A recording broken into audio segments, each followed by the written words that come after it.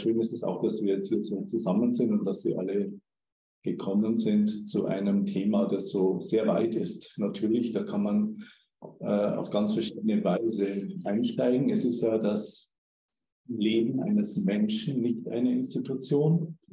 Und das Leben eines Menschen hat halt sehr viele Facetten, ist sehr weit und breit, sehr lang. Das habe ich ja selber auch gemerkt, auch an meinem eigenen Weg. Da können Überraschungen warten, äh, äh, Dinge, an die man nie gedacht hat, in die eine oder in die andere Richtung. Und äh, einzutauchen in dieses Leben erst einmal, also ohne jedes religiöse Vorzeichen.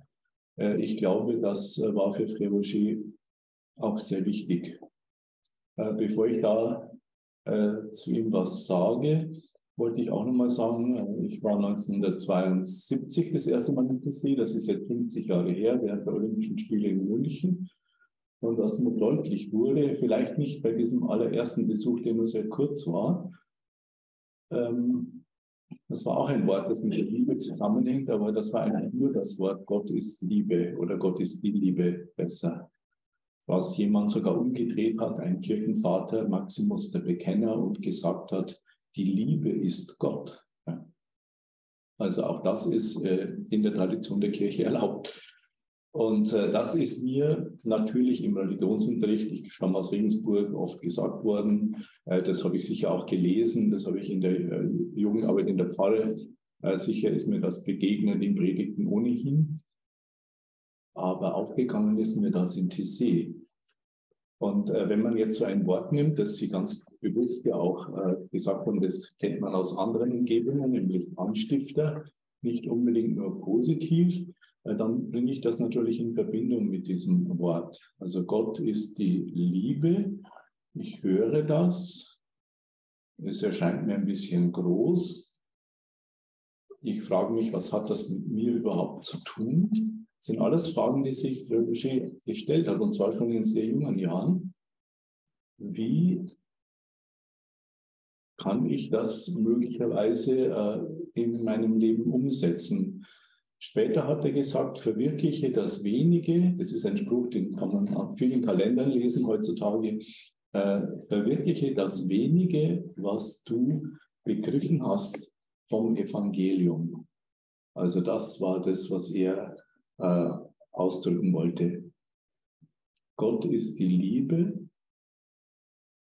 Gut, man wird jetzt vielleicht nicht sagen, dass das wenige ist vom Evangelium, Gott ist die Liebe, aber für ihn war es wichtig, das irgendwie zum Ausdruck zu bringen. Wenn ich mich nicht ganz täusche, war das ein Graffiti in der Kirche, in der sein Vater Dienst tat. Er war ja Sohn eines evangelischen Pfarrers aus, der, aus einer der beiden äh, Kantonskirchen in der Westschweiz im Wartland, Kanton Vaud. Und in der Kirche, in der es äh, praktisch keinen Altar gab, äh, Tabernakel ohnehin nicht, sondern ein Holztisch, der viermal im Jahr, glaube ich, herausgeholt wurde, um euch um äh, Abendmahl zu feiern. Äh, da stand das an der Wand, unter anderem mit anderen Bibelsprüchen. Gott ist die Liebe. Er hat es also schon sehr früh gesehen.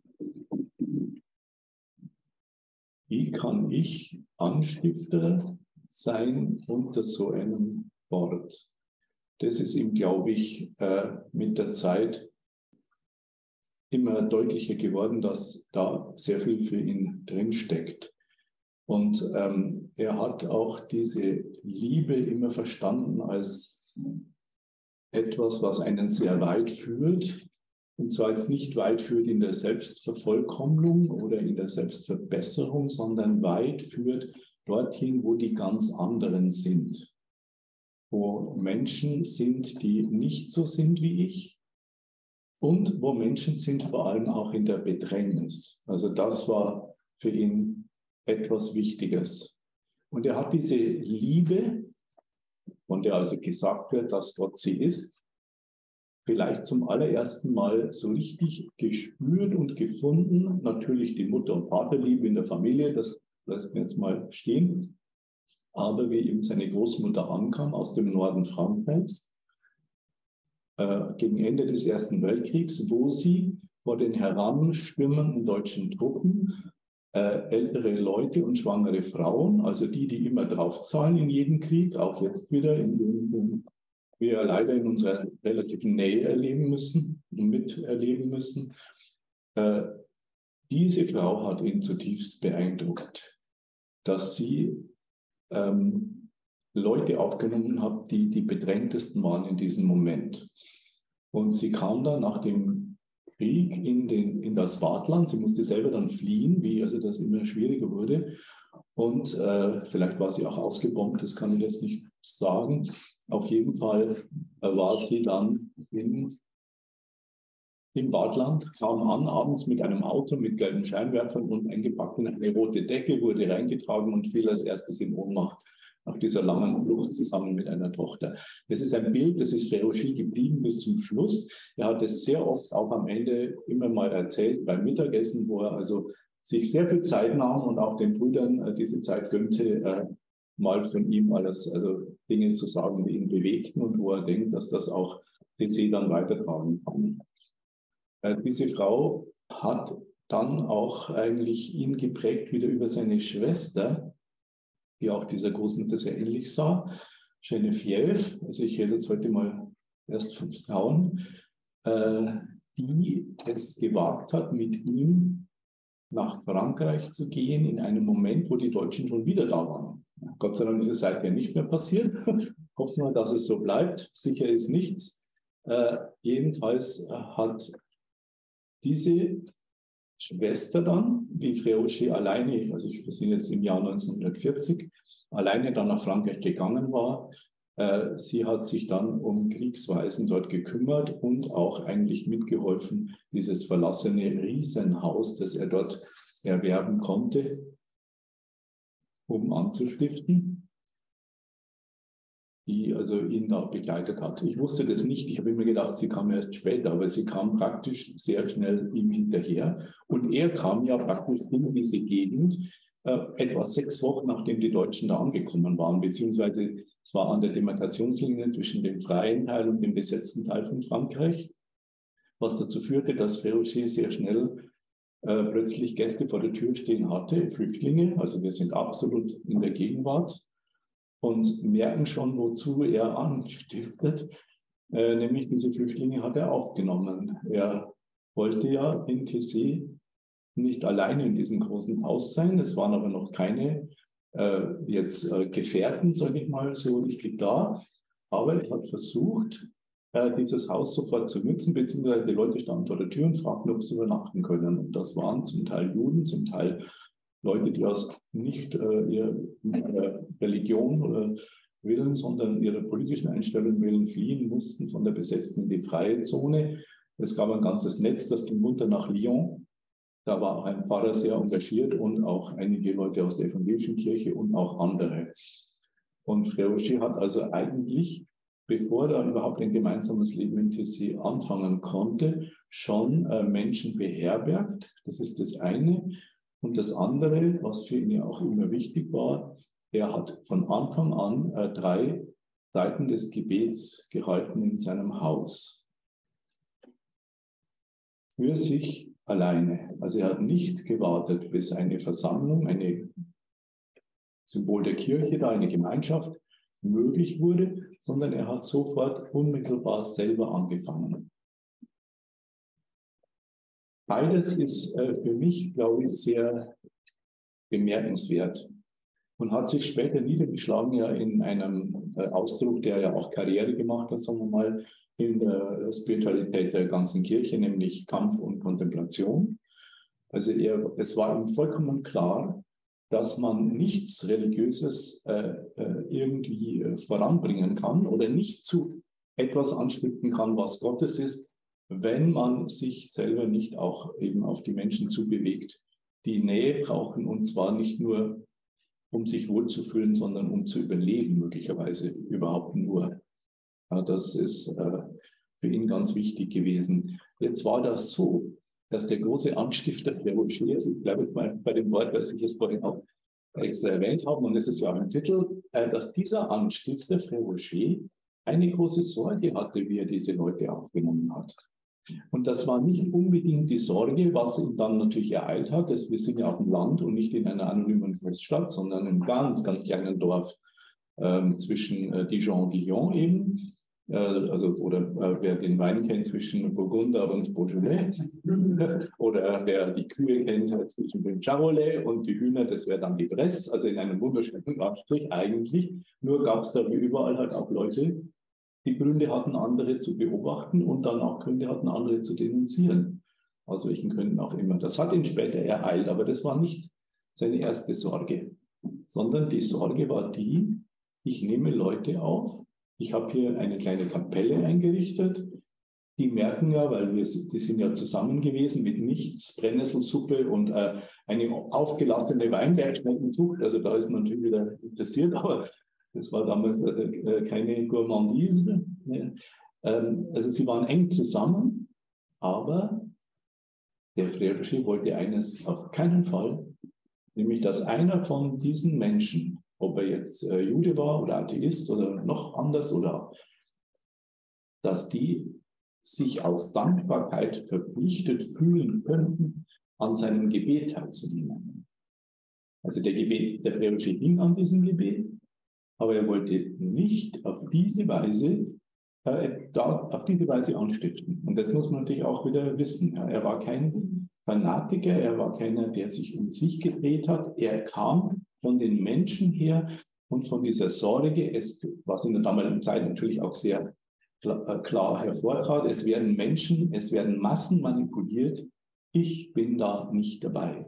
Wenn irgendetwas wachsen kann, dann kommt das nicht daher, dass ich Leute in irgendeiner Weise im Griff habe, in die Hand bekomme oder dass sie mir etwas schuldig sind und ich dann sage, worin die Abzahlung dieser Schuld bestehen könnte. Da war er ganz unbestechlich, äh, ganz klar. Und das hat er, glaube ich, aus seiner Familie, wohl auch von seinem Vater her, hat er das mitbekommen. Also das war für ihn, äh, also da sieht man schon, da ist alles ein bisschen anders wie jemand, der jetzt also irgendeine Bewegung gründen will und jetzt mit allen Mitteln sich freut, dass da Leute kommen und da jetzt was draus machen. So hat er die Kirche nie gesehen. Und wenn in dem Titel jetzt es heißt, die Kirche von morgen, ist das ja die Kirche von jeher. Es gibt ja nicht fünferlei Kirchen und es gibt Etappen in der Kirche ganz bestimmt, aber es ist Kirche von morgen. Heißt für mich jetzt übersetzt, also nur jetzt mal von dieser, von diesem kleinen Einkreisen her, äh, aus einem Punkt im Leben von Frère Rocher, Kirche von morgen, heißt natürlich genau das. Wir geben alles und die Menschen werden wissen, äh, was sie damit anfangen können. Und diese Gratuität, also dieses Unentgeltlichkeit, Selbstlosigkeit, das hat im Grunde aus meiner Sicht von jeher auch die Jugendtreffen dann später in TC so echt gemacht. Ob das immer hundertprozentig durchgehalten werden konnte, das steht auf einem anderen Blatt. Aber dass natürlich Frère Roger immer allen eingeschärft hat, dass es eben, jetzt habe ich das wieder so, nichts selbstverständlich ist, dass überhaupt ein Mensch nach TC kommt. Das war für ihn ganz klar. Und dass diese jungen Leute nicht hier jetzt in TC sind, also jetzt springe ich nochmal 30 Jahre weiter, dass die, also in die 70er eben, äh, dass die nicht nach TC kommen, äh, damit wir sie jetzt haben und jetzt mit ihnen also da was draus machen können. Das wurde in der Kirche allgemein zum Teil sehr gut verstanden und zum Teil überhaupt nicht. Und es gab Leute, die gesagt haben, das habe ich ja selber dann miterlebt, TC ist was für Jugendliche, die eigentlich, äh, ja, so, früher nannte man das laue Christen, ich weiß nicht, ob Ihnen der Ausdruck was sagt. Also Leute, die eigentlich das nicht ganz so ernst meinen, die fahren halt mal nach Burgund. Ja, früher war in TC waren auch die Treffen sehr frei, da haben auch Jungen und Mädchen in denselben Zelten übernachtet, das hat dann keinen gestört, aber sehr bald, sehr bald kamen Leute, die halt gesagt haben, also wo solche Verhältnisse herrschen, kann es ja mit dem Glauben nicht weit her sein. Und auch, man muss doch, wenn die Jugendlichen jetzt schon kommen, wenn man die eine Woche hat und die können ja praktisch nirgendwo hin, ja, muss man denen doch richtig was reingeben, äh, damit die da also, äh, dann genordet sind sozusagen, sage ich jetzt mal. Eigentlich muss man sagen eher geostet. äh, Ex Oriente Lux, ähm, dass die dann da also ein für alle Mal mit dem Glauben geimpft sind. Oder wir brauchen in der Kirche Leute, die also bestimmte äh, Ämter und so weiter übernehmen. Und TC ist doch ein toller Ort. So nach dem Motto, das habe ich selber gehört. Ja, ihr Brüder, die Jugendlichen, die fressen doch euch sozusagen aus der Hand. Ja, die haben doch ein Vertrauen in euch, wie, es nirgendwo fast gibt. Warum macht ihr nichts draus? Also dieses Aushalten des Zweckfreien, den anderen wirklich ganz ähm, zu sich kommen zu lassen, zu sich. Und damit auch natürlich zu dem, was Gott in ihn gelegt hat, wenn man das jetzt im Gebühr sagen möchte, das wurde, da haben viele dann nicht vertraut. Und das war aus meiner Sicht, waren das die sogenannten lauen Christen. Also sie haben ihre eigenen, eigentlich der Tiefe ihrer eigenen Überzeugung nicht Glauben schenken können und versuchten, andere Mittel anzuwenden. Vielleicht klingt das jetzt ein bisschen streng, aber ich habe es im Hinterkopf halt immer äh, also erlebt und, und ich kriege das auch nicht weg. Und ich glaube, äh, dass ähm, das für den Frère ein ganz großer Ansporn war, aber eben nicht ein Ansporn, jetzt irgendwelche ähm, Dinge zu erfinden. Also es gab keine Pädagogik von TC. Es gab auch im Grunde keine besondere, es wollte nie eine besondere Theologie von TC oder Spiritualität von TC, sondern äh, dass es hat ihn auch wiederum dazu angestiftet, eben ganz einfach zu bleiben, ganz herzlich, ganz nah an den Menschen. Und dann natürlich, äh, das war der große Unterschied zu den Treffen, zu sagen, wenn jemand nach TC kommt, ist es natürlich, um am Leben dort teilzunehmen.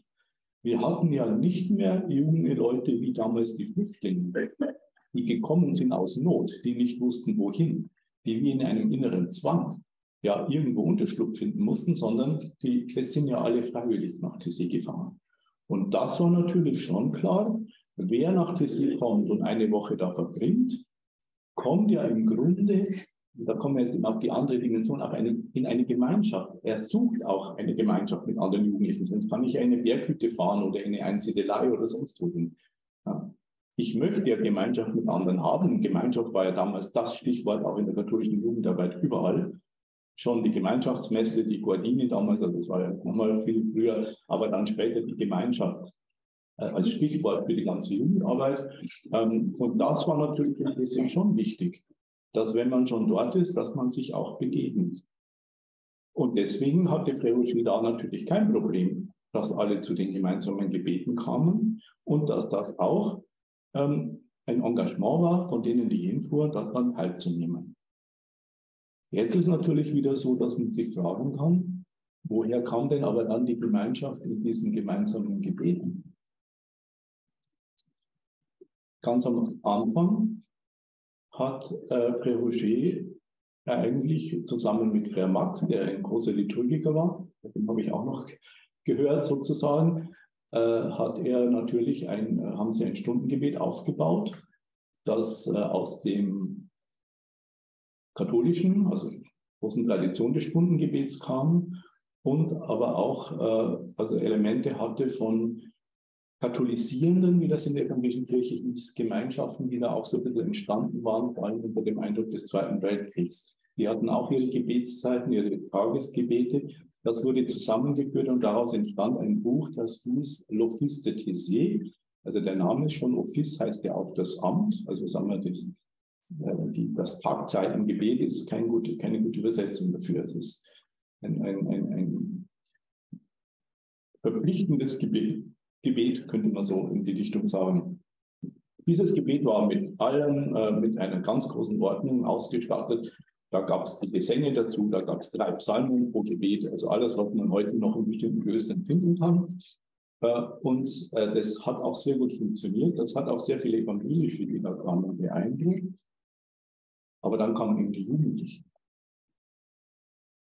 Und Frère wollte natürlich, dass diese Jugendlichen was aufs TC mitnehmen. Das war ja nie die Frage. Die Frage war nur, wie. Da hat er gemerkt, dass ein Gebet, das aus einem Wortschwall besteht, also wo ungeheuer viele Worte fallen, und wenn man dann den Psalm hinter sich hat, kommt als nächstes ein Tagesgebet und so weiter, dass das nicht möglich war, den Jugendlichen auf die Dauer zu bieten und zu verlangen, dass sie kommen. Also eine oder das andere. Also schon ein schönes Gebet für ganz hochstehende Christen, die also jetzt äh, ihr Alltagsleben nochmal stärker leben wollen. Das war ja im Grunde auch in der Kirchengeschichte der Ausgang äh, von Leuten, die sich zusammengeschlossen haben. Die wollten jetzt nicht so als Christen abgelenkt in der Gesellschaft sein, sondern eben in der Wüste oder sonst wo, um da möglichst äh, hochkarätig und auch reinkarätig äh, den Glauben zu leben. Äh, und da hat eben Freusche gemerkt, ähm, das ist nicht der Weg von Tessé. Und wir haben eine wunderbare Liturgie, aber leider müssen wir die jetzt vollkommen verändern. Und da können Sie vorstellen, wie begeistert da bestimmte Leute waren. Und ich habe selber, da muss ich mich jetzt doch ins Spiel bringen kurz, äh, ich habe selber, wie ich dorthin fuhr, ja noch diese in Anführungszeichen alte Stundengebetsliturgie erlebt.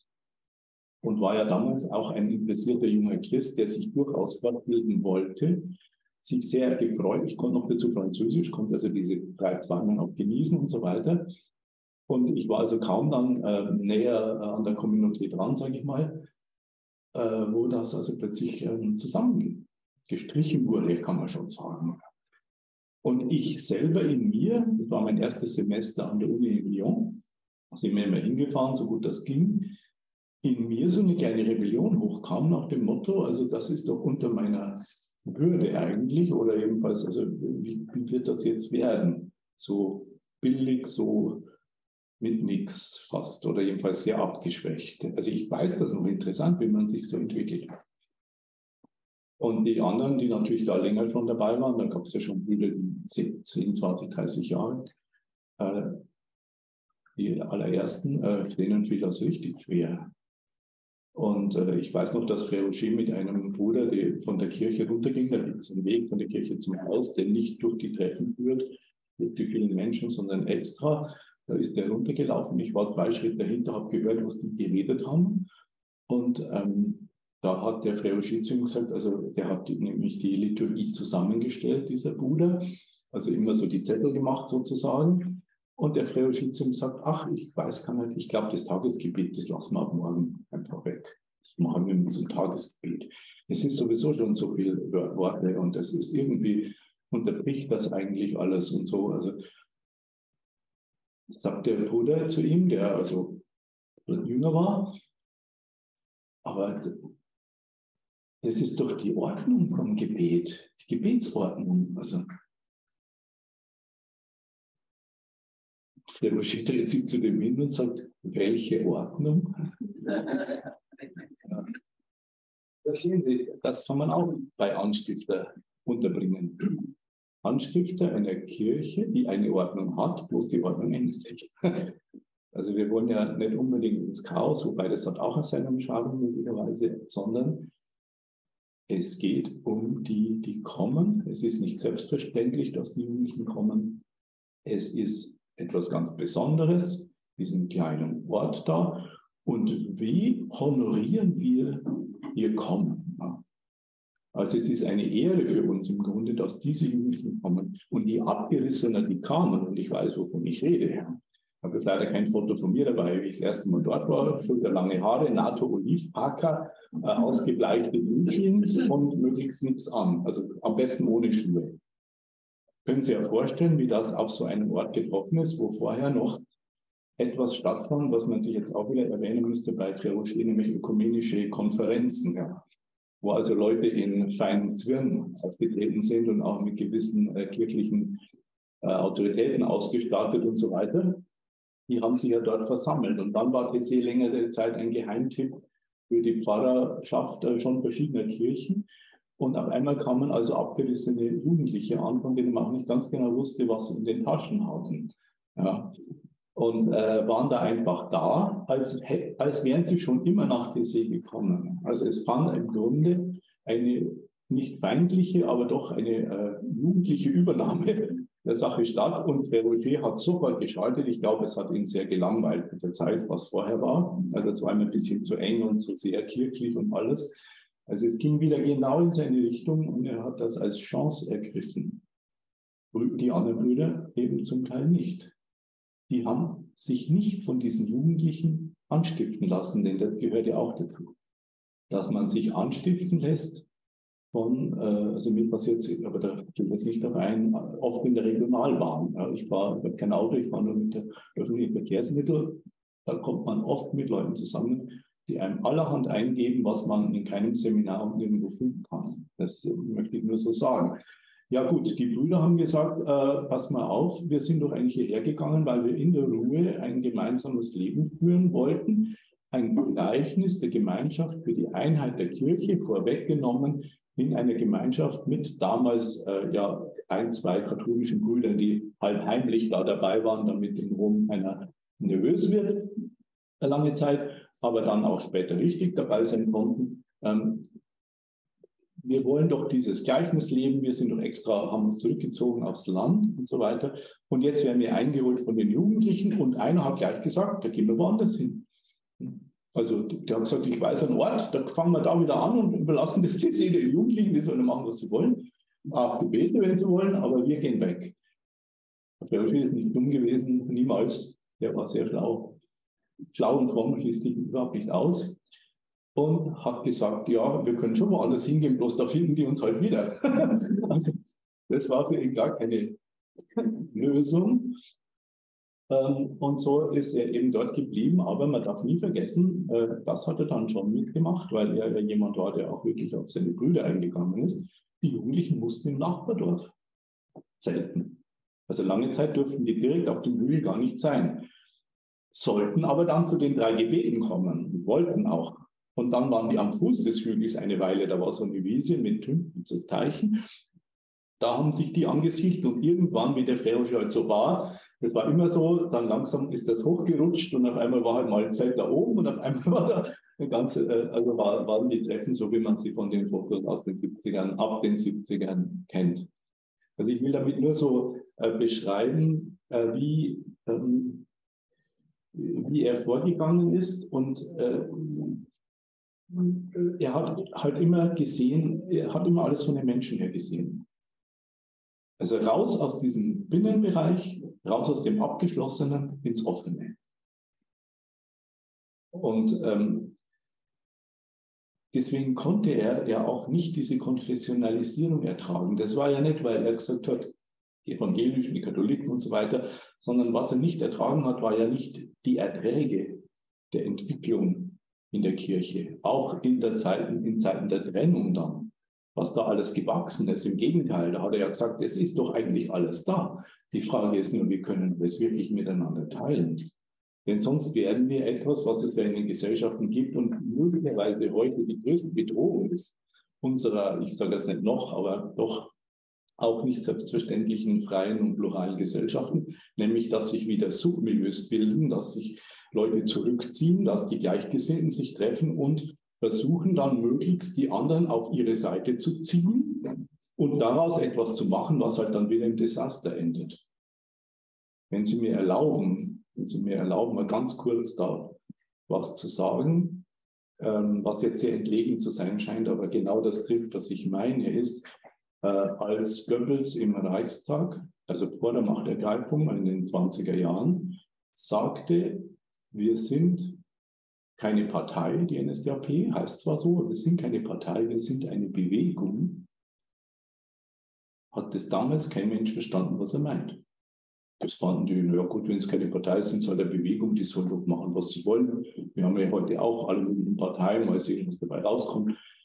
Nee, der hat ganz klar gesagt, uns gehört, also hat er nicht so gesagt natürlich, aber das steckte drin, Parteien, das ist Systemzeit, hieß dann die Demokratie in der äh, Nazizeit. Das, das, ist Teil der Systemzeit. Also die Parteien, die streiten sich eh nur rum. Der Reichstag ist eine Schwarzbude. Wir sind eine Volksbewegung. Hat keiner mitgekriegt. Aber genau das haben die Nazis natürlich dann durchgeführt und haben die Leute angestiftet. Da sind wir jetzt eben bei dieser gefährlichen Seite dieses Wortes. Ja. Haben Leute angestiftet, natürlich auch aus der Not heraus, haben da äh, Hitler bringt Arbeit und Brot und all diese Dinge. Ich die haben das ja hier in Wien, sich sowas kann nicht sagen, war das ja im gewissen Sinn noch verschärfter, noch offener. Äh, wenn man die österreichische Geschichte liest, da kann man ja, da kann man ja nur bewundern, muss ich jetzt echt als Deutsche sagen, äh, was hier alles gewesen ist. Natürlich äh, vom Anschlussen zu reden wir mal lieber gar nicht. Aber, aber so ging das an und noch in vollkommener Freiheit. Da war noch kein Zwang, da konnte man im Reichstag sagen, was man wollte. Das Einzige, was die Leute im Reichstag fertiggebracht haben, war, den anzuklagen, dass er nicht gedient hat im Ersten Weltkrieg. Verstehen Sie? Der hat gesagt, ja, aber du, du, der braucht doch gar keine Rede haben, der, hat, der war doch gar nicht an der Front, weil er, er, der hatte ja irgendein Leiden mit den Füßen. Und ähm, also die waren noch in ihrem Kriegs, also völlig an einem anderen Schauplatz und haben gar nicht gemerkt, was da gerade passiert.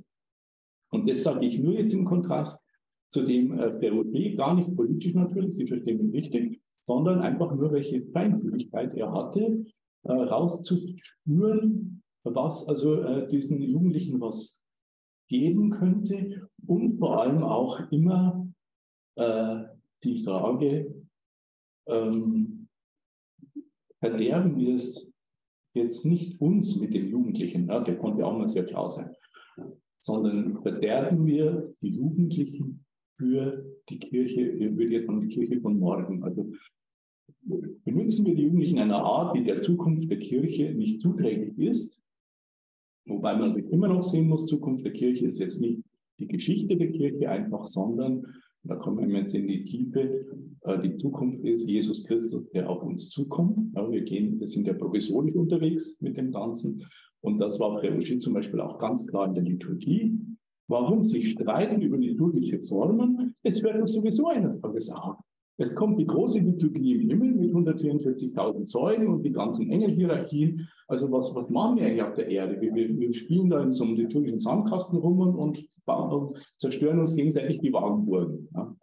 Weil die einen haben nicht die richtige, das richtige Abendmahl und die anderen, die haben äh, also so beten Götzen an und was da alles war und, äh, zum, und wiederkommen kann und ist halt, wenn man sich da äh, konfessionell rein versteigert, sagt der Roger, also das ist ja so unbedeutend, wenn man mal die großen Zusammenhänge sieht.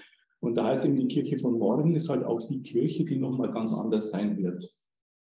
Ja, und da war er, also, und das hat mich natürlich, also muss ich wirklich sagen, äh, in mir etwas geweckt, wodurch er mich auch an, angestiftet hat, kann man so sagen, aber in aller Freiheit. Sie sehen ja, wie frei ich stehe. Also was ist aus mir geworden? Ne? Das ist ja eigentlich nur zur Ehre und Peruschi, glaube ich, wenn ich jetzt so da, das so sagen kann und auch so dastehen kann. Und ähm, dann ging es halt darum, was geben wir diesen Jugendlichen, die zu uns kommen? Steine oder Brot? Und was ist Brot für sie? Und dieses Brot war natürlich etwas, also abgesehen davon, dass alle was zu essen bekommen haben und die Jugendlichen das auch selber gemacht haben, also die Partizipation, das war damals schon ganz wichtig, die Teilhabe, mitmachen, äh, Teil davon sein, war für mich auch eine große Erfahrung. Ähm, in einfachsten Mitteln, aber was können wir ihnen eben geben? Und wuchern konnte der Frère Rocher, also ich bleibe jetzt bei ihm und nicht die ganze Gemeinschaft, wuchern konnte er mit zwei Dingen nämlich seine Liebe zu der Stille und seine Liebe zum Gesang. Also das war im Grunde ähm, Herzstück dieser Treffen, letztlich jetzt die Innenseite der Treffen. Die Außenseite, die war sehr bunt, die war sehr nahe an Woodstock, muss ich sagen. Ich habe nämlich jetzt mal Woodstock näher untersucht und da kann ich auch wieder nur sagen, Hut ab vor dem, was da gelaufen ist. Und es gehört für mich irgendwo zu TC dazu.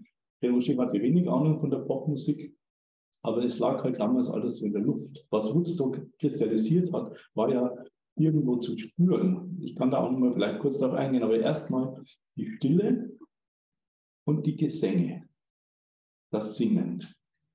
Oder überhaupt die Musik, aber ja. Die Stille hat Roger immer eingebaut in sein Gebet. Das kam von einer Gruppe, die hieß Les Veilleurs, die aufgerufen hat. Das war eine evangelische evangelikale Gruppe aus Straßburg, wenn ich recht weiß, aber auch mit Verbindungen ins Badland. Da hatte er als junger Student, war er da Teil davon. Das war zum Teil eine sehr strenge Angelegenheit mit täglicher Gewissenserforschung, aber eben auch so einen Moment der Stille. Also das hat da eine Rolle gespielt, denn in evangelischen Gottesdiensten hat die Rolle, die Stille noch weniger eine Rolle gespielt wie in den katholischen katholischen Gottesdiensten, also auch in der tridentinischen Messe, äh, wenn man das zurückverfolgt, gibt es einen Augenblick, wo Stille äh, vorgesehen ist. Und zwar ist das, wenn der Priester dann sagt, äh, Orate Fratres oder Oremus. Ja. Zwischen dem Oremus und dem Beginn dann eben eines Gebets kann man, wäre der Priester frei, solange er möchte, still zu halten. Das ist natürlich in der Praxis zusammengeschnürt. Also bei einer 20-Minuten-Messe kann man nicht äh, 10 Minuten Stille halten. Äh, aber es ist natürlich, ähm, äh, also für den äh, der ja dann verpflichtet war, weder den einen noch den anderen, äh, für den war das sehr wichtig. Und dass man die Stille auch nicht mehr alleine hält, sondern gemeinsam. Und dass man, wenn man dreimal am Tag in der Stille zusammenkommt, ob das jetzt die Brüder sind oder mit den Jugendlichen, dass das die ganze Gemeinschaft, das gemeinsame Leben der Brüder und das gemeinschaftliche Leben der Jugendlichen eine Woche, dass das alles verändert. Und das ist das, glaube ich, wo so viele dann in Kissé, ohne da jetzt dran zu denken, gesagt haben, es ist ein besonderer Ort, ich fühle mich hier aufgenommen, man ist, man geht anders miteinander um und so weiter. Das war nicht nur das, aber es war etwas sehr Wichtiges. Wenn wir zusammen Stille halten können, äh, dann äh, wächst da auch etwas und die Stille ist eigentlich, jetzt bin ich ein bisschen böse, nicht dazu da, Meditation zu vervollkommnen. Und auch nicht für eine Gruppe von Leuten, die halt gern meditieren, sondern Stille ist wirklich für alle da ist ja auch in der Intensie eigentlich auf alle übergesprungen, zumindest im Laufe der Tage. Ich habe schon erlebt, dass Konfirmandengruppen oder Firmengruppen kamen, die am ersten Abend einfach losgelacht haben. Weil das natürlich urkomisch ist, wenn plötzlich alle still sind. Reoji hat auch gemerkt, dass die Kinder, die ja dann immer zu ihm auch kamen, äh, dass man ihnen einfach, also dass die Angst kriegen, wenn plötzlich die Erwachsenen und die Jugendlichen alle still sind, ist da jetzt die Schlange schon im Altarraum, das Kaninchen bei der Schlange, ja. So. Und da hatte Frau Roger dann immer Kinderbücher. Also die, die, und hat, hat auch während der Stille, das war nämlich eigentlich der, der am wenigsten diese Stille selber gehalten hat, weil er mit seinen Kindern beschäftigt war. Aber also das ist auch nochmal jetzt der Roger in der anderen Sicht, dass er jetzt nicht stur da so ein Meditationsmeister war, äh, wobei ich die Meditationsmeister überhaupt sehr mag, aber er war es halt nicht so, sondern ähm, der konnte da lieben. Auch mal. Also nicht so streng, sondern irgendwie so inkorporiert, eingebaut, in ihm drin, die Stille war unter der Haut. Die Stille war eigentlich, lief ihm rum in einem gewissen Sinne. Das war also das eine und das andere natürlich, was für ihn sehr wichtig war, war der Gesang. Denn ich glaube, dass er sehr früh begriffen hat, dass es nicht ganz so ohne ist, mit einer Gruppe unterwegs zu sein. Ja. Ich meine, diese Gemeinschaft sollte ein Gleichnis der Gemeinschaft sein. In Wahrheit waren natürlich da die schrägsten Leute äh, versammelt. Also wenn Sie ungefähr wissen wollen, wie es in der Community äh, möglicherweise zugegangen ist, ist alles noch vor meiner Zeit, aber hat sich natürlich dann fortentwickelt, dann lesen Sie am besten, äh, wie es Jesus mit den Jüngern erging. Ja, das war ja auch das blanke Chaos, stellenweise zumindest. Also das heißt, man fragt sich, wieso ist Jesus nicht alleine vorgeprägt? Warum musste der da zwölf Jünger mitschleppen? Ja, natürlich, weil sonst gäbe es heute kein Kardinalskollegium oder so. Denken manche, kann man ja so sehen. Aber ähm, es ist nicht ohne. Ja? Und Jesus war ja auch manchmal ziemlich ermüdet, ist alleine davon, hat seinen Club da stehen lassen. Ja? Und die Jünger waren aber auch ermüdet. Also das, äh, weil natürlich mit so jemandem wie ihm unterwegs zu sein, der ja auch ständig irgendwas angestiftet hat und sei es, dass also wieder die Menschen versorgt wurden mit Brot. Ja. Ich meine, das, Jesus hat ja auch immer von den Menschen her gedacht, mich erbarmt des Volkes, die Menge, sie haben nichts zu essen. Ja, wir haben auch nichts, sagen die Jünger. Und so kennen sie ja Brotvermehrung. Das ist alles kein Problem. Das Wunder ist überhaupt kein Problem. Das Problem war doch in der Praxis, und da rede ich jetzt auch wieder von TC und das Wunder Arbeit machen. Was glauben Sie, was das für eine Arbeit war? Das, jetzt haben wir natürlich, der Priorität hat das so hingekriegt, dass die Jugendlichen da sehr viel mitgeholfen haben. Die mussten natürlich auch wieder anleiten. Also das, von daher war das dann auch wieder nicht so schlimm. Aber Ferrochi hat selber gesagt, in den ersten Jahren in TC, wenn er daran denkt, sieht er Berge von Geschirr vor sich, die er alle abgespült hat, und zwar ohne Maschine. Und ich habe könnte Ihnen auch erzählen, wie viel Geschirr wir da abgespült haben und so weiter. Die Jugendlichen haben das dann ja bei den Treppen gemacht. Aber es macht halt einfach Arbeit. Also und sei es auch nur in TC rumzuschauen, ob da nicht Leute rumlaufen, die was klauen. Denn das ist auch eine Wirklichkeit gewesen im TC, denn es war ja kein Zaun außenrum. Es war ja kein Disneyland mit Eintrittsbereich, äh, ähm, sondern da konnte ja jeder erst mal reinkommen und das heißt, man musste ständig schauen, was da los war. Also das war eine Arbeit, die man nicht jedem äh, übergeben konnte, weil manche haben dann nur noch gesehen und gesagt, TC ist ja wie überall, was ja auch irgendwo stimmt, aber das war natürlich Es kommt halt immer auf die Perspektive an. Jedenfalls, ähm, dass also der, ähm, äh, dass diese, diese Weite äh, mit den Jugendlichen äh, die Arbeit macht, äh, dass die Brüder auch irgendwie dabei geblieben sind. Nicht alle waren ja auch in den Treffen drin. Ich meine, bei den äh, Jüngern, um nochmal auf das Brotwunder zu dann müssen Sie sich mal vorstellen, zwölf äh, Körbe voll Brot einzusammeln am Ende von einem Tag, wo sie schon am Mittag müde waren. Ja, das muss man ja auch erstmal dazu anstiften, dass die das nicht liegen lassen. Ja, sondern es steht ja da, es wurde fein säuberlich eingesammelt. Das ist sehr modern in unseren heutigen ähm, Abfalldiskussionen. Ja, und dass da auch nichts wegkommt und so weiter. Ähm, das Singen war deswegen sehr wichtig. Also eine Gemeinschaft, die in alle Richtungen geht, wo ganz verschiedene Leute sind, die nicht leicht zu handeln ist, würde man, heute sagen. Was hat der Freudschi gemacht? Er hat etwas gemacht, was er aus seiner Familie kannte. Gesangbuch aufgeschlagen, tiefe evangelische Tradition, gute Psalmen, das ist der hochliturgische äh, Komponist gewesen für die reformierte Kirche, in, äh, vor allem in, in, äh, im Badland und natürlich Johann Sebastian Bach, die ganzen Choräle. Alles, was er gesungen hat in den Gottesdiensten seines Vaters, aber was auch zu Hause gesungen wurde. Die hatten drei Klaviere auch in der Wohnung, also es ging auch nicht nur um Singen, sondern um Musik. Er hatte eine Tante, die hat äh, in Weimar äh, Virtuosität studiert fürs Klavier und hat immer gesagt, dass der Franz heißt er, ne? Franz Liszt, dass er dabei war, wie sie geprüft wurde. Also solche Leute waren da in der Familie äh, und ähm, Musik spielt eine Rolle, Musik führt zusammen, wir singen. Und da haben die, die hatten ja kein Fernsehen, da war gar nichts. Damals in dem Dorf Tessin, in den 40er, 50er Jahren, jeden Abend gesungen. Und das Singen war, also so hat das Freriche immer wieder gesagt, hat uns geholfen, überhaupt über diese Zeit hinwegzukommen und auch äh, also weiterzukommen. Genau das hat er mit den Jugendlichen gemacht. Nur konnte man irgendwann mit den Jugendlichen natürlich keine Bachforellen mehr singen, vor allem nicht mit Spaniern wenn nur Deutsche gekommen wären. Und es gab ja Wochen, wo viele Deutschsprachige da waren, aber vor allem Deutsche. Äh, natürlich konnten die diese Lieder, Jesus meine Freude, haben wir doch gesungen. Da gab es so ein Heft, das war so DIN A4-Blatt, äh, zusammengeheftet, da waren die alle drin. Ich habe noch ein Exemplar, das ist so völlig zerlesen. Äh, und ähm, äh, das ging plötzlich nicht mehr. Ja, haben die Brüder gedacht, ja, wir singen doch ganz schön, dann singen wir denen was vor hat der Freude nicht mitgemacht. Das hat mich auch ehrlich gesagt äh, damals manchmal geärgert, weil ich mir gesagt habe, wir können wirklich singen. Wir haben auch, ich habe auch eine, so eine Art Gesangsausbildung bekommen. Wir haben die Responsorien solo gesungen und alles. Nee, wollte der Freude nicht. Ich glaube, dass es ihm äh, zu beeindruckend erschien, so eine, äh, ich sage es nicht Horde, aber so einen Haufen von Männern zu haben, die also ganz toll singen, sodass keiner sich mitzusingen traut, darf man hier sagen, in Deutschland muss man sagen, wagt, äh, traut mitzusingen. Das wollte er nicht. Er wollte, dass alle Teil sein können davon und dass man nicht kommt, um sich da was Schönes anzuhören. Er war nicht gegen die Hamollmessen von Bach, der war auch nicht gegen die Mozartmessen. Aber er hat gesagt, das passt jetzt gerade nicht bei uns. Vielleicht kommt es ja mal irgendwann.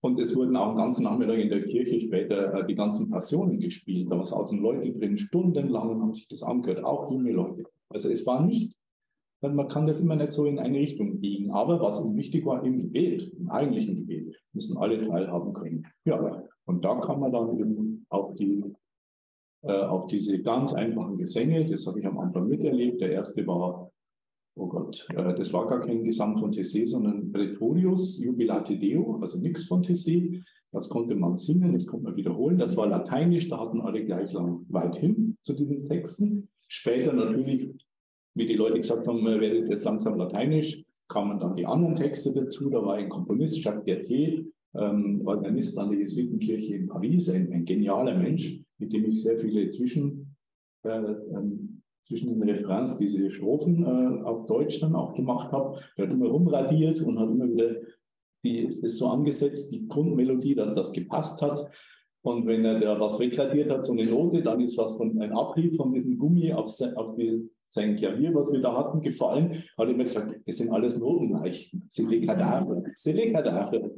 Also es war auch so ein Typ, der für den die Musik beweglich war und der alles angepasst hat. Und wenn halt äh, ein, ein deutsches Lied war, dann hatte der Bach drin und dann hat der Mosarabische, äh, also gesenkt für Spanisch, hat er dann Mosarabisch mit diesen Halbtönen. Also der hat das wunderbar gemacht und so, dass es jeder mitsingen konnte.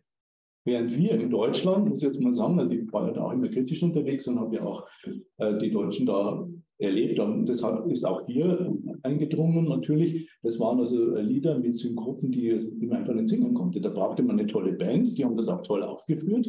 Bloß der Volksgesang war auch jetzt also wieder so eigentlich wie äh, wenn anderswo Leute was aufgeführt haben. Und das wollte er eben nicht. Und er wollte auch nicht alles auf Englisch oder so, sondern er hat gesagt, nein, wir, wir wollen also möglichst viele Sprachen haben. Und der, wie gesagt, der Komponist hat mitgemacht und der Fred Robert, den kennen ja manche vielleicht, äh, der das aus ganzen äh, tief, also mit Vollblutmusiker war, obwohl er Arzt war eigentlich. Und ähm, äh, allerdings einen Nachteil hatte, äh, der war, der hatte zu sehr schulische Methoden. Der wollte ja die Leute anstiften, nicht nur zum Singen, das hätte dem Preoche gereicht. Das ist auch wieder, um so eine, wieder so eine Facette rauszuarbeiten. Das Singen hätte dem Preoche gereicht. Ob der Gesang schön oder nicht schön ist, war bei den Brüdern schon wichtig, aber bei den Jugendlichen war ihm vollkommen egal. Dem Fred Robert war das nicht egal. Und der hat Chorproben durchgeführt, und zwar mit einer Strenge, äh, dass da wirklich nur die Melomanen, also die Musik äh, sage ich mal, ähm, bei ihm da durchgehalten haben. Und es gibt ja, der will immer gerne eine Anekdote erzählen, damit es aber lustig bleibt. Äh, der geht also durch und hat die Leute genau aufgestellt, weil das war ja der Chor, der diesen Gesang tragen sollte, fürs, mit Mikrofonen für die ganze Kirche. Vor allem, dass auch alle gleich gesungen haben, weil das ist sehr schwierig, wenn man so verbreitet ist und sich nicht hört. Der hat jetzt einen Chor aufgestellt, alt, wie ist es alt, Sopran, Tenor, Bass, glaube ich, oder umgekehrt oder irgendwie. Dann ist er rum, hat die singen lassen und sagt dann zu einem, was sind Sie denn? Also mitten in den Tenor oder so, hat er gesagt, was sind Sie denn? Hat er gesagt, ich bin katholisch. also, das war eine strenge Geschichte und der Roger war da nicht wohl dabei weil er gesagt hat, das passt nicht zu viel. Das passt nicht zu der Art, wie wir mit der Bibeleinführung umgehen oder welche Gesprächsgruppen wir vorschlagen. Es ist, es hat kein, es, gut, aber er hat es nicht abstellen können, der Robert war der stärker und er hat die Leute weiterhin also etwas äh, vertieft angestiftet, sage ich mal. Ja, jetzt kamen also diese Lieder eben, äh, die man immer wiederholen konnte.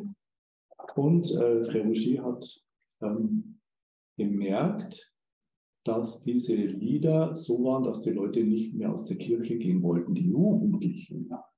Das war eine Geschichte. Denn am Anfang war das nicht so. Es hat sich Stück für Stück entwickelt. Und einmal, weiß ich noch, sind wir ausgezogen, so nach der Reihe nach, die Brüder, wie das halt so ist, in so einer Gemeinschaft, waren in der Sakristei. Freuche war ja der Erste, der war eigentlich durch und wie so zurück zu der Tür, wo wir immer raus sind und sagt, die singen ja, die singen noch, die singen ja weiter, ohne uns. und ab dem Tag wurde in der Kirche gesungen bis Ultimo. Und ich will jetzt wieder nicht mich da rausheben, aber ich war jemand, der das abendelang immer wieder ein Lied nach dem anderen angestimmt. Ja, und die Leute haben mitgesungen und natürlich waren andere da, die mitgeholfen haben. Später gab es dann so eine, also so ein wie nennt man das, was es, es da auch wie ein Klavier hat, aber geht um wie eine Gitarre oder kommt man so einstellen, äh, dass das also ein Keyboard, genau, so ein Keyboard ist da gelaufen und dann war das schon leichter, aber am Anfang haben wir das ohne gemacht.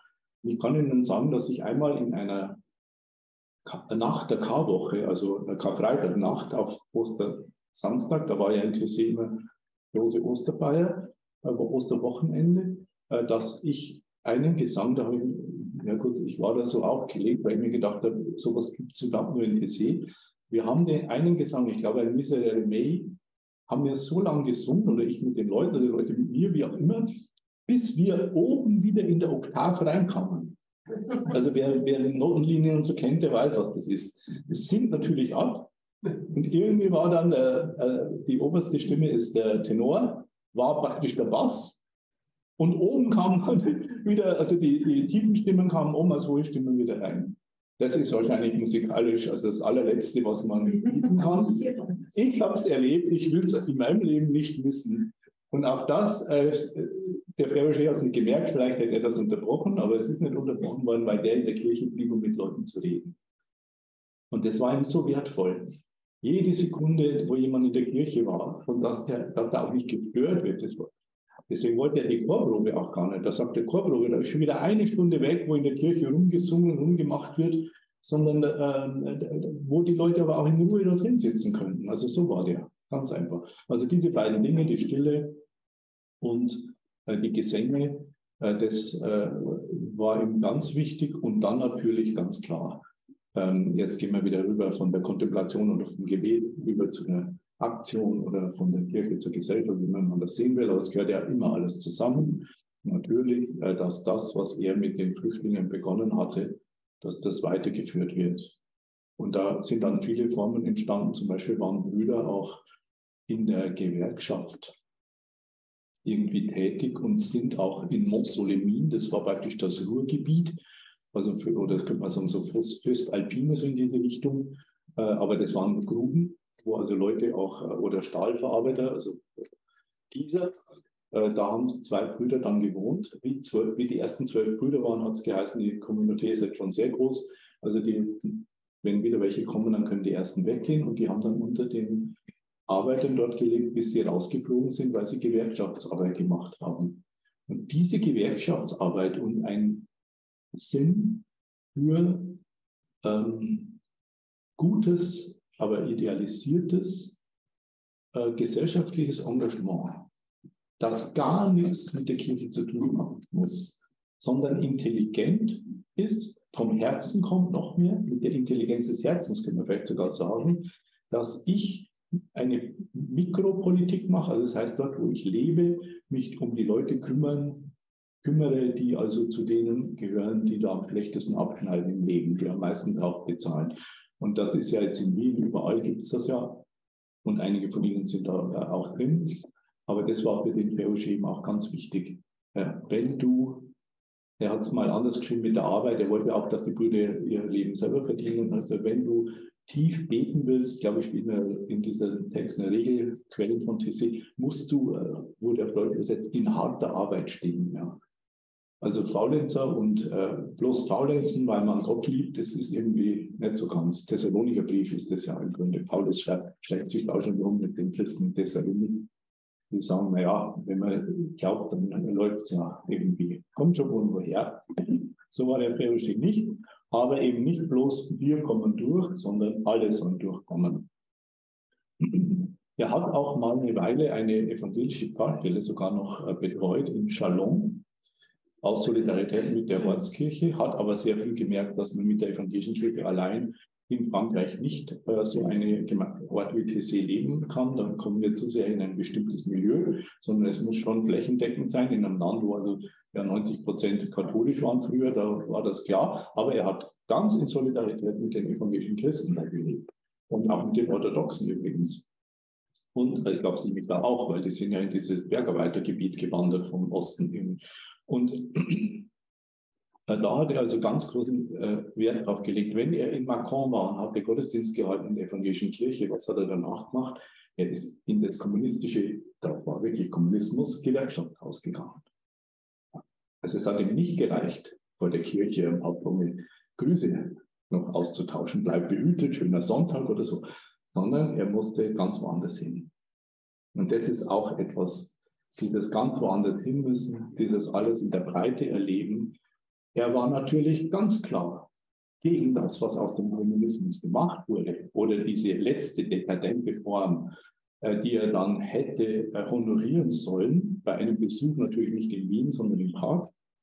Da sind wir jetzt in den, äh, vor dem Mauerfall natürlich, also in den 80er Jahren.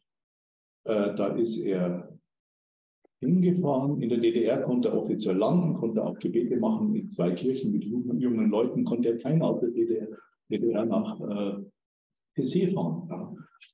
Und äh, während die Russen in einem Teil von Österreich geblieben, was Gott behütet hat, und 1955 war der Schluss mit dem Spuk, mit dem ganzen Spuk.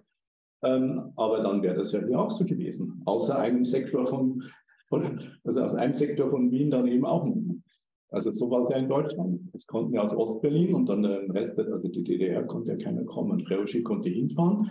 Aus Prag konnten einige kommen, aber mit viel größerer Gefahr, denn sie wurden gefilzt. Die konnten keinen Brief aus TC, also so Schriftstücke von TC konnten die gar nicht mitnehmen, weil die waren ja offiziell so ein bisschen mit Interrail unterwegs, halt Europa anschauen, da haben sie Visa gekriegt. Aber äh, wer sich religiös betätigt hat, aber manche von ihnen, die wissen es besser ich, die konnten natürlich äh, da, ähm, mussten richtig aufpassen und haben auch zum Teil ihre Jobs verloren und sind halt dann Heizer geworden, statt dass sie äh, und keine Akademiker mehr gewesen und was auch immer. Jedenfalls, Rocher hatte also eine Einladung von Kardinal Tomaschek, war das damals, Weizdom, äh, und ist dann natürlich hingefahren, kam auch rein, ist auch nicht selbstverständlich, und hatte aber kein Recht, ein Wort, so wie ich jetzt hier, also in der Kirche dann, zu sagen. Also die, sein Wort an die Leute zu richten. Es wäre aber gegangen, wenn er neben dem Reichsdom zur Regierung wäre, hätte gesagt, hallo, ich bin der Prioché, freue mich, dass ich hier bin und äh, achte und so weiter. Nichts. War für ihn vollkommen klar, da geht er nicht hin. Wenn die kämen also wenn ein Regierungschef kommt und sagt, ich bin in Problemen, hätte der Freude mit dem Knuttenmann geredet, aber nicht so, dass die Leute den Eindruck haben, hier der Freude paktiert, bloß damit er reden kann, weil das ja dann pastoral so effektiv ist und er endlich seine äh, Erträge und was er alles sagen kann, dann äh, den Leuten geben kann, wofür wäre er eigentlich so weit? Ja? Nein, dann wird halt nicht geredet. Und dann ist Folgendes passiert dass er einfach wie ein Besucher, aber natürlich im weißen Gewand, das konnte mir ja keiner ausziehen, äh, in die Gottesdienste gegangen ist. Ich glaube, in drei, vier katholischen und in einem evangelischen, so ungefähr war das Verhältnis. Und bei den katholischen, das hat er nämlich später noch alles haarklein erzählt, äh, bei den katholischen war es halt so, dass da irgendwann die Kommunionausteilung anfing, also die Kommunion. Und bei der Kommunion, waren die ja nicht die Leute, hat sich die gesamte Kirche in Bewegung gesetzt. Also natürlich waren die auch irgendwie an der Kommunionbank oder so, aber es war halt, also es saßen immer alle ruhig in ihren Reihen und der Freude irgendwo, sondern die haben sich alle in Bewegung gesetzt und zwar so, dass alle an dem Freude vorbeikamen. Die Blicke haben sich gekreuzt. Vielleicht hat er auch gesagt, äh, der Friede sei mit dir auf Tschechisch oder Pax Tecum. Und das war's. Und das viermal und das noch in der evangelischen Kirche, wo leider kein Abendmahl war, da war es ein bisschen anders, aber ging auch. Und Freude ist wieder gefahren. Und das ist ganz tief gegangen. Und da haben die Leute gemerkt, da kommt einer, der wirklich äh, uns, bei uns sein will. Ja. Nicht irgendwie und auftreten will und was sagen wir, sondern bei uns. Und das war, glaube ich, äh, wenn man sagt, äh, Anstiften zur Gemeinschaft, oder also das gehört für mich in, jetzt in diesen Bereich, dass Fellowship immer irgendwelche Wege fand, Sachen aufzulockern, aus dem Weg zu gehen, was er von seinem Gewissen nicht beantworten konnte. Und dann kam aber was ganz Tiefes dabei raus. Das muss man erstmal so hinkriegen, denn heute kann man das leicht erzählen. Ja. Aber wenn man im Prozess drin ist, das ist ja auch wie das Verhalten in Diktaturen. Hinterher sind da alle schlau und manchmal möchte man einfach zu Leuten sagen, sie sollen wenn sie selber eine Diktatur hinter sich haben, weiterreden, aber jetzt gerade mal Schluss. Kriegt man ja nicht hin, aber wenn man nämlich innen drin ist, sieht ja alles ganz anders aus. Also das war die große, große Geschichte. Jetzt könnte ich natürlich uferlos weitermachen. Ich hatte ursprünglich gedacht, wir machen so, wir nehmen, aber das wäre jetzt zu formal gewesen und wäre dem Kreusch auch nicht, glaube ich, so entgegengekommen. Wir machen so, dass wir die Zweierjahre nehmen, ja, weil wir sind in 22 jetzt, ne, 2022. Kreusch geboren in 15, 1915. Ich habe immer gesagt, wir datieren noch von vor der russischen Revolution. Vielleicht hat er auch den Kommunismus äh, irgendwie also sich interessiert für Leute, die da Rechtschaffen suchen. Ähm, Gut, 22 war er sieben, da ist er das erste Mal nicht mehr in der Geborgenheit seiner Familie gewesen und hat die Erfahrung gemacht, dass ein Pfarrerskind in der Schule äh, gehänselt wird. Und zwar vor allem von Kindern, wo der Vater Brandwein trinkt und sein Vater versucht hat, äh, den Brandweinkonsum einzudämmen in einem kleinen Dorf oberhalb des Neuchâteler Sees. Muss man vorstellen, wie der Pfarrer dann angesehen war in der Bevölkerung. Und sein Sohn musste in die Schule und das hat so geändert, dass er ähm, ein, also zu Hause unterrichtet wurde mit zwei anderen. Also der hat eigentlich die Schule nie so miterlebt, aber Sie merken schon, dass der eine Aversion gegen die Schule entwickeln konnte. Das war 1900 22. 32 war er 17, hat ihn eine Krankheit ereilt. Und eine Krankheit hat ja viele, viele Seiten, eine möglicherweise lebensbedrohliche, aber sie unterbricht auch. Und ohne irgendeine Krankheit schön zu reden oder auch irgendeine Seuche, kann man sagen, es gibt sehr viele Menschen, die, weil sie äh, ein Leiden haben oder und krank waren, weil es Unterbrechung gab in ihrem Leben, eine Feinfühligkeit entwickelt haben, auf die andere noch zu warten haben. Das ist sicher. Und das war bei dem Frère auch so. Und mit der Krankheit war aber ein Missverständnis verbunden, nämlich dass seine Eltern ihn schon aufgegeben haben. Die wollten ihn nämlich zu Hause haben, weil sie gesagt haben, wenn der kleine Roger nicht mehr lange lebt, also 17-jährig, aber für Kinder, für die Eltern ist man immer der Kleine, äh, dann wollen wir doch ihn wenigstens bei uns gehabt haben und nicht irgendwo in einem Krankenhaus oder in einer Einrichtung deponieren und dann hinfahren, wenn die anrufen, er wäre gestorben. Tuberkulose hat er gehabt und das war damals nicht lustig. Ja. Also sie hatten ihn im Grunde, das hat er dann gespürt, nicht diese Liebe, dass er bei ihnen ist, sondern es kam bei ihm anders an, nämlich sie wollen, also sie haben mich aufgegeben. Also diese Verlassenheit. Und diese Verlassenheit ist auch eine Triebfeder für ihn gewesen, jetzt nicht sich in, blind in eine Gemeinschaft zu werfen und zu denken, alles dreht sich um ihn. Also da kann ich beeiden, dass er da sehr frei war. Mit Hilfe der Kirche der Zukunft, nämlich der, die von Christus abhängt und nicht von einem Einzelnen. Deswegen hat er die Kreuzikone überall rumgetragen, damit die Ikone die Mitte ist und nicht seine Rede und wenn er da kommt. Auch in Wien war er überall so. Und er hat gedacht, er ist aufgegeben, er hat sich vollkommen verlassen geglaubt dem Tod geweiht. Und das ist ihm lange nachgegangen. Aber daraus hat sich in ihm irgendetwas zusammengebraut, was ihm dann eine solche Gemeinschaft, wie es heute die Community war, sage jetzt mal war, natürlich auch noch ist, ähm, dass er das getragen hat. Aber ich weiß, dass er auch in, mitten in dieser Gemeinschaft oft sehr einsam war, dass er sehr vieles auch äh, bitter empfunden hat ähm, und damit leben musste. Das haben viele nicht gesehen. Ich will das nicht vergleichen mit den dunklen Glaubenszeiten von Mutter Teresa. Das haben ja auch viele nicht geglaubt, haben gedacht, die lebt das im Kindermädchen glauben irgendwie. Äh, nein, das ist natürlich schon ein Ernst, wenn man sich da einlässt. Und bei ihm war das äh, dann so, dass er äh, wirklich sich auch da manchmal verlassen gefühlt hat.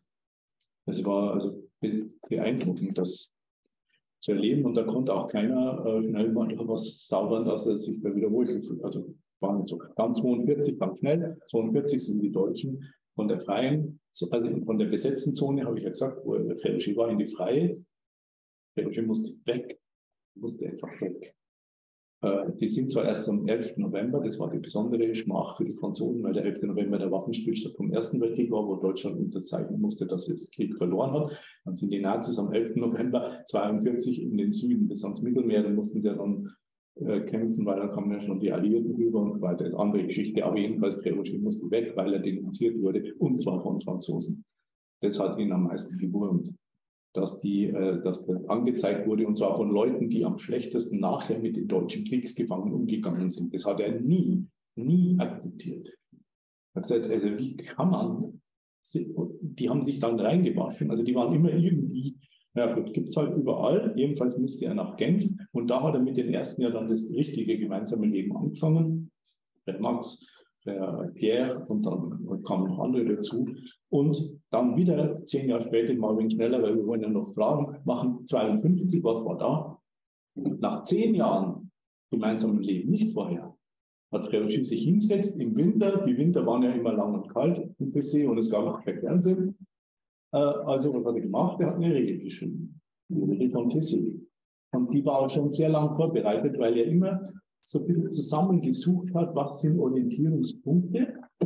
Das war, äh, was er oft in den Mittagsgebeten gebetet hat, die nicht Arm und Keuschheit und Gehorsam, sondern es war, hilft mir, ähm, Geist der Seligpreisungen war es, genau. Lass uns leben im Geist der Seligpreisungen, Freude, Einfachheit und Barmherzigkeit.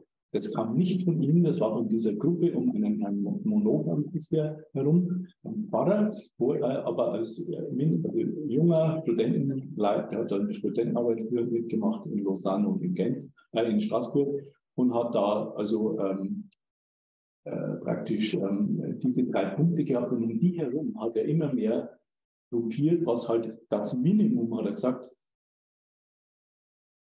das Minimum, was für einen gemeinsamen geistlichen Leben nötig ist, nicht mehr.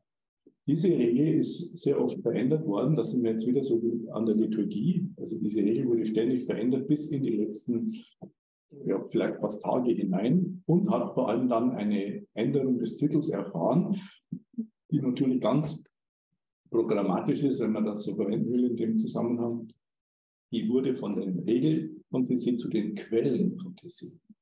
Also weg von der Regel, Geregelten, äh, sondern hin zu den Quellen. Eigentlich eine Parallelität zu dem, was im Gottesdienst passiert ist. Wir beten hier nicht ein Stundengebet herunter und wenn wir die drei Psalmen haben und ein bisschen was dazu, dann ist das erledigt, die Pflicht, und dann kommt die nächste, sondern es ist ein Ort, ein Moment, um in der Musik, in der Stille, natürlich im Wort Gottes, von dem habe ich jetzt leider zu wenig gesprochen, aber es denken sich das ja dazu, äh, weil das war natürlich ganz wichtig und vor allem dieses Wort Gottes ja in der Stille dann in die Leute eingedrungen. Das wurde ja nicht erschlagen wieder von anderen Worten, sondern das stand ja nackt und bloß und scharf, kann man auch sagen, stand das ja da. Äh, und, aber er eben, er hat das also alles damit reingenommen und hat das in die Quellen so wie die Gottesdienste Quellen wurden auch dieser Regeltext, also die Quellen von TC.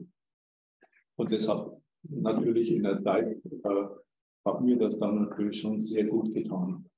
Irgendwann ist mir dann eines aufgefallen. Ich glaube, das war sogar erst in der Zeit, wo ich dann äh, in Deutschland wieder war. Der Frère hatte ein Genie, was man selten findet, aber vielleicht öfter als man denkt.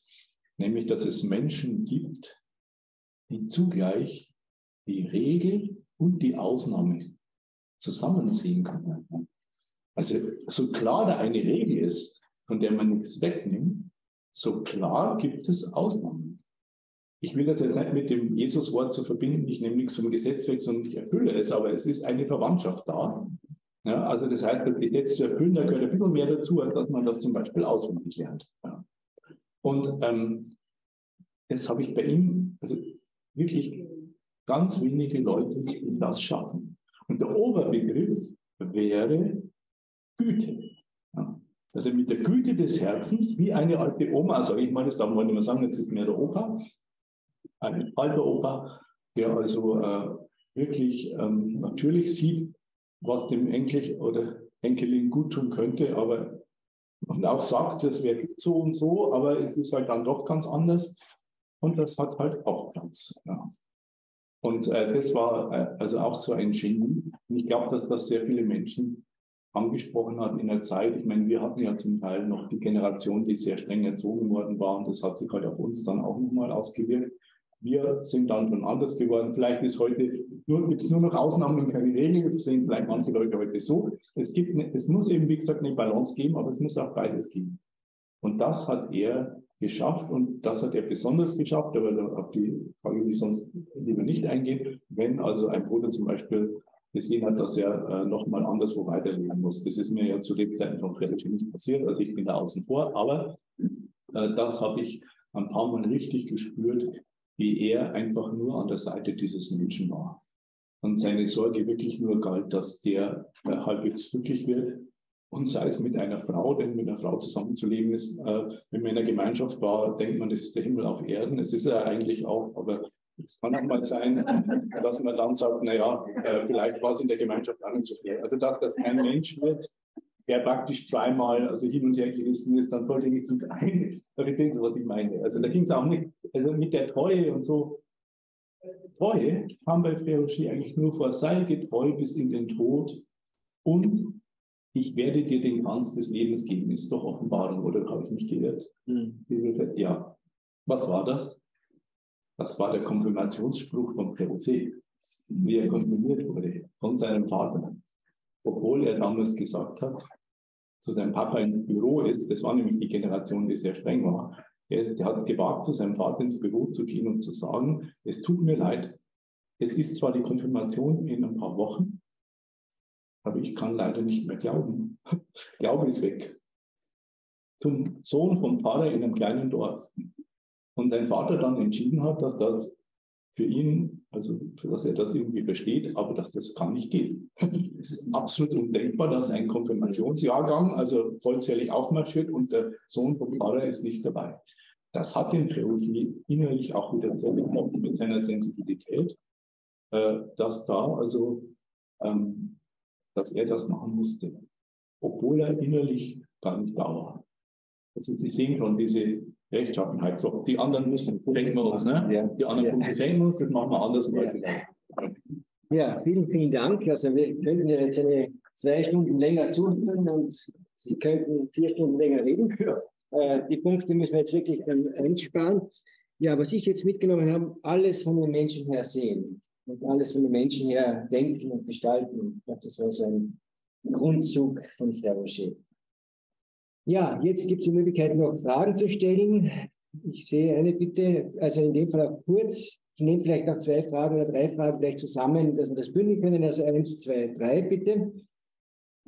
Ja, danke für sehr interessanten Vortrag. Äh, ist es ein Zufall, dass der, Roger elf Kilometer nördlich von Cluny gelandet ist? Cluny, ich glaube, die Rolle braucht man nicht äh, extra betonen. 1200 Klöster sind von dort gegründet worden. Das spirituelle Zentrum Europas vom 11. bis 13. Jahrhundert.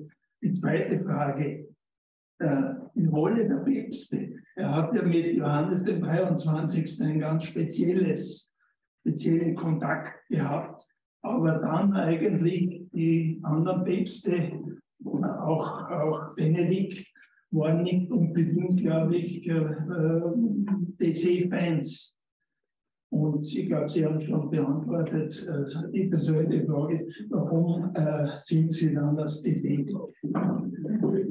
Ja, das sind schon drei Fragen. Ja, das einmal. Weil ich bin jetzt schon bei 70 und vergesse dann die Frage. Okay. Ich mache es aber ganz kurz. Es geht los. Erste Frage war, äh,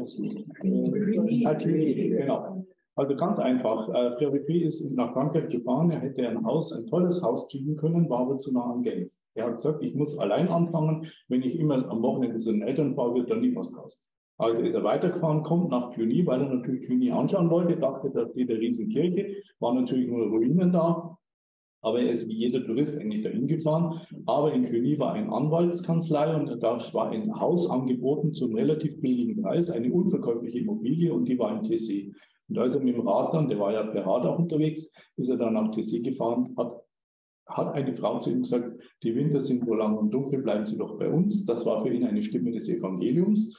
Ich habe jetzt wenig vom Evangelium geredet, aber das ist jetzt mal ganz klar, was er natürlich hat die Bibel mit der Muttermilch getrunken und hat das begriffen. Und dann ist er dahin. Jetzt war, das Haus hat ihm zwar dann eigentlich nicht so behagt, aber er hat dann auch ein noch irgendwas gekriegt und die Frau hatte eine Novene angefangen, dass sie das Haus verkaufen. Das war so verarmter Landadel, ja, mit einem viel zu großen Ding. Das war also äh, Cluny. Jetzt gab es natürlich ein Problem, äh, der hat sich mal kurz ab von, äh, nee, Prior von Cluny genannt oder ihr wurde genannt.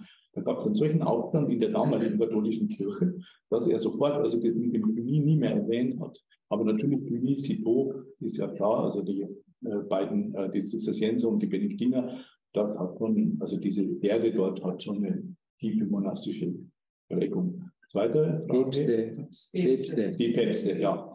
Also das ist ganz einfach. Ähm, der Freuchet war sehr schnell äh, zu beeindrucken. Also wenn ein Journalist kam, ich habe mich zum Teil manchmal um die Pressearbeit gekümmert, habe ich den Journalisten immer gesagt, wenn Sie vom Freuchet was erfahren wollen, dann lassen Sie erstens mal was sagen und stellen Sie keine manipulativen Fragen.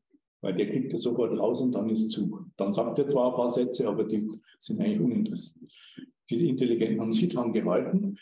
Ähm, warum sage ich das jetzt? Weil der relativ schnell beeindruckt war. Und einer, der ihn jetzt im Guten beeindruckt hat und nicht äh, eingeschüchtert hat, wie man sagen müsste, war Johannes der 23. Denn Johannes der 23. war ein Bauernsohn, der mit beiden Beinen auf der Erde war, der sehr schnell seiner Familie gesagt hat, ich bin zwar jetzt Papst, aber es gibt keine Lira. also der hatte sicher Grund, das zu sagen. Ne?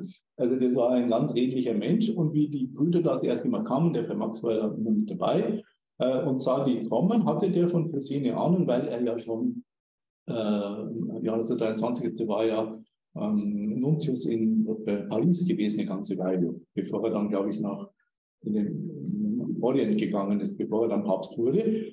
Und der kam an und der, der, der Johannes Steinson macht so, bravo, bravo, die Seele. Da hat der Fäsche gedacht, der wird sich so hinstellen, also da kann ja nichts mehr passieren. Und äh, er kannte natürlich auch, hatte ja alles gelesen und so. Ja, gut, war Johannes der 23., dann kam Paul der 6.